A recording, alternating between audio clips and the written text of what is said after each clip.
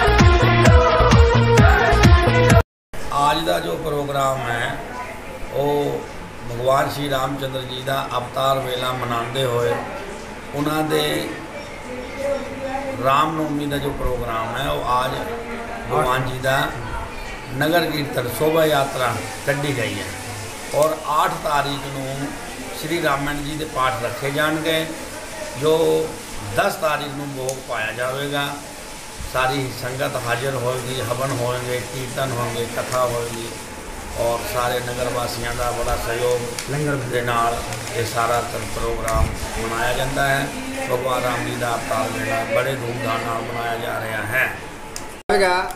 श्री रामान जी का अखंड पाठ आठ तारीख ते नौ ते दस तारीख को भोग डाला जाएगा। उस दिन भी अटूट लंगर चलेगा।